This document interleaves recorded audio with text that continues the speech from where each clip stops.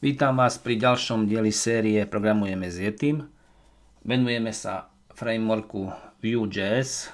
Pokračujeme v minulé lekcii, kde sme sa venovali deklaratívnemu renderovaniu a prepojili sme data z modelu, čo predstavuje javascriptový súbor, s dátami v HTML.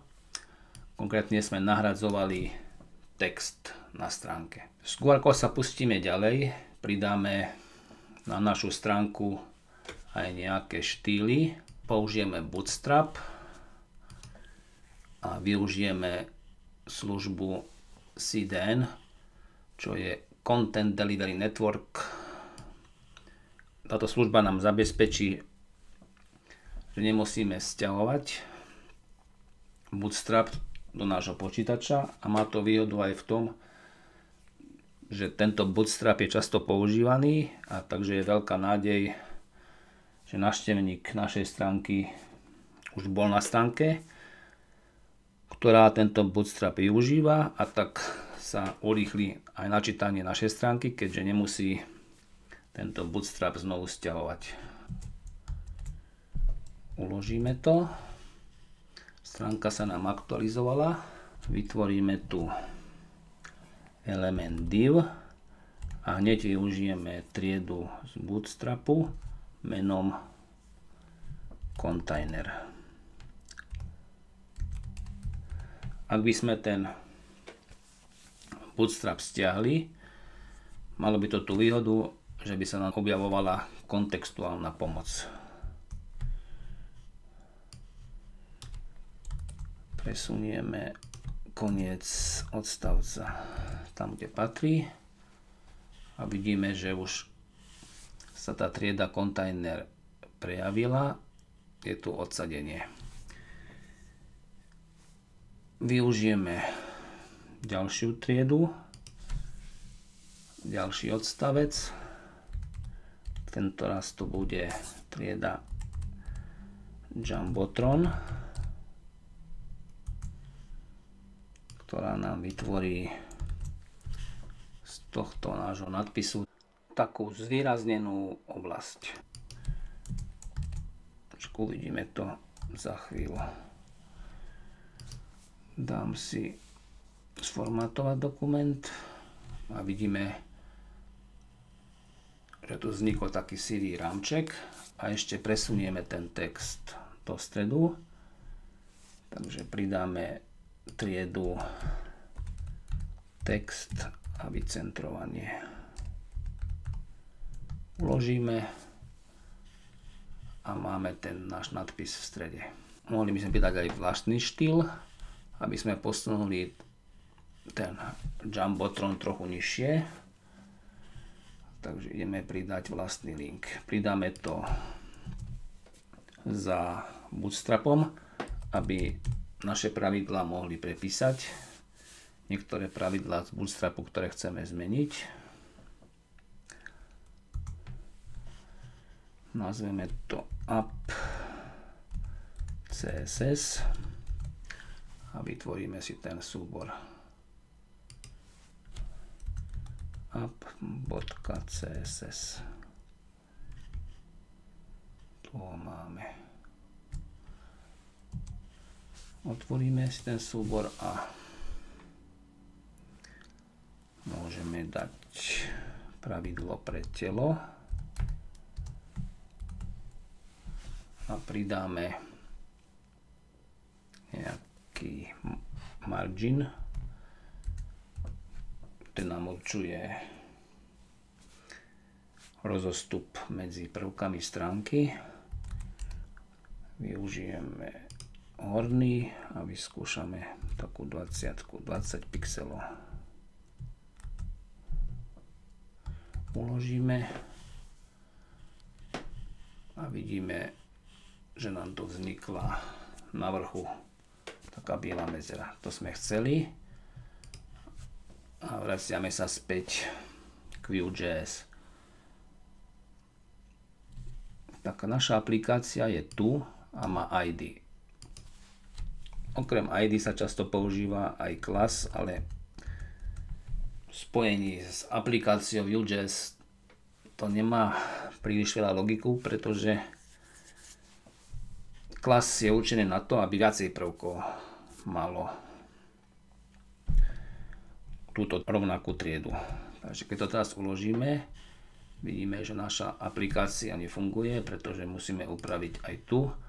Zmeníme značku hashtagu na bodku. To určuje v CSS triedu. Uložíme, aplikácia je späť. Ale ako som povedal, ten klas sa môže zopakovať. Tak skúsime, čo by sa stalo, keby sme to použili dvakrát. Tú istú triedu uložíme a vidíme, že Vue.js si všíma iba tú prvú triedu. Ak by sme strašne chceli, tak to môžeme tak zmeniť, že si vytvoríme novú inštanciu Vue. No, aby sme to rozlišili, tak tam dáme nejakú inú správu. Biskupy sa pohybujú po uhlopriečkách. No, to je taká slovná hračka. Biskup znamená v angličtine aj strelca v šachu. No a biskupy, strelci sa pohybujú naozaj šikmo. Biskupy sa pohybujú po uhlopriečkách priečkách. Uložíme, otvoríme si konzolu. Chyba nie je žiadna, ale chyba je tu logická.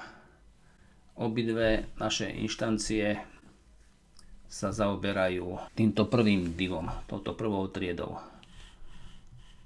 Takže to musíme zmeniť. Tak, že ten selektor ešte viacej špecifikujeme. Tak chceme, aby sa táto inštancia zaoberá druhým odstavcom.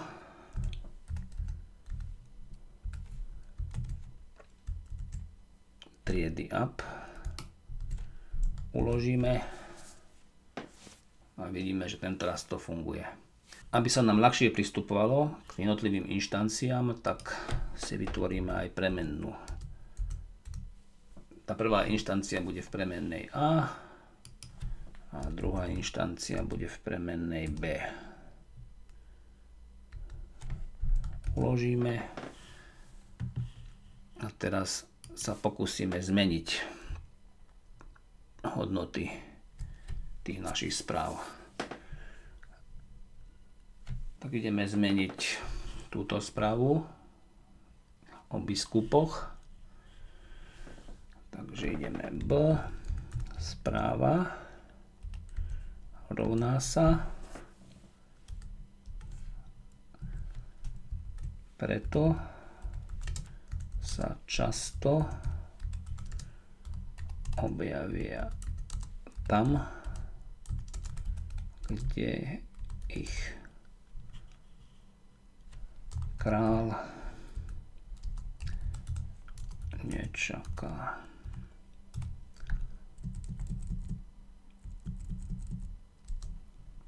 Odošleme to a vidíme,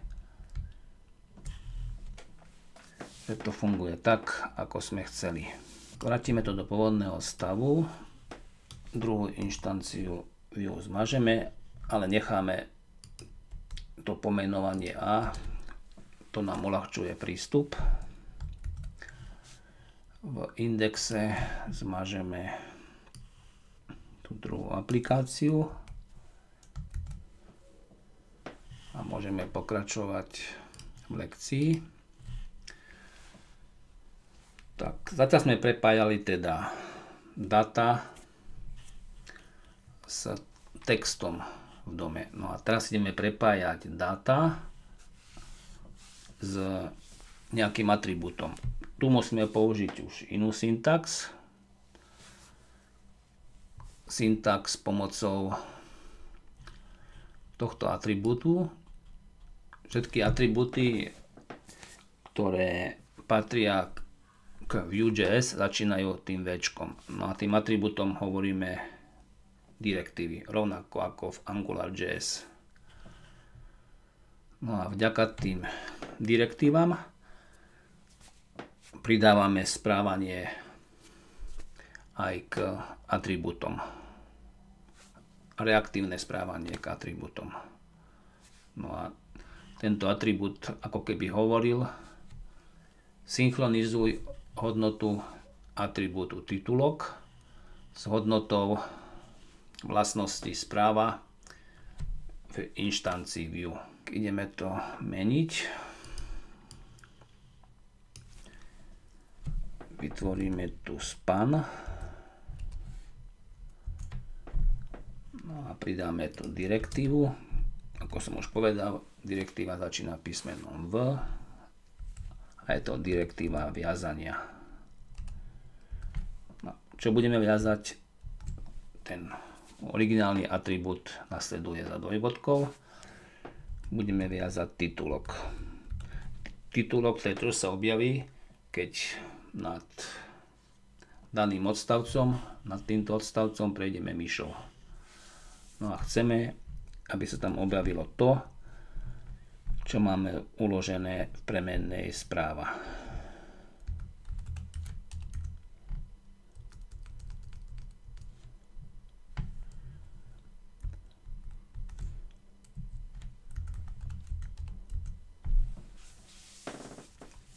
pridáme ten text, ktorý chceme mať zobrazený. Biskupy sa pohybujú po uhlopriečkách.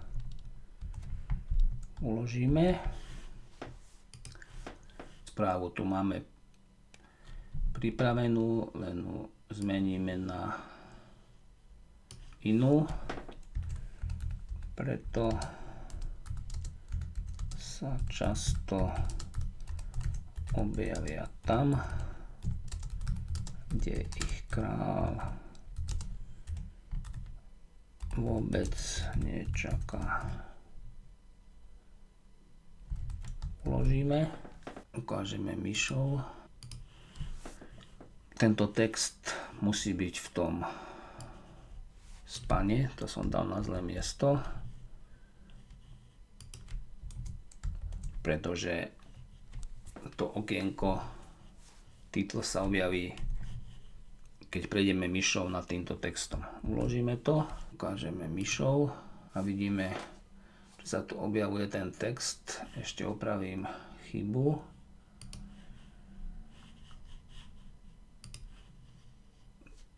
Nemá to byť toto P. Uložiť. Ukážem vám ten text zväčšenie. Preto sa často objavia tam, kde ich kráľ vôbec nečaká. Takže funguje to tak, ako sme chceli. Končím túto lekciu, v ktorej sme si ukázali, ako prepojiť dáta z modulu s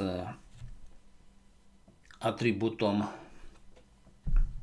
nejakého prvku domu. Konkrétne sme prepojili dáta s atribútom titul. Ešte tam môžeme pridať aj aktuálny dátum, pretože toto je JavaScript a v JavaScripte sa aktuálny dátum zistuje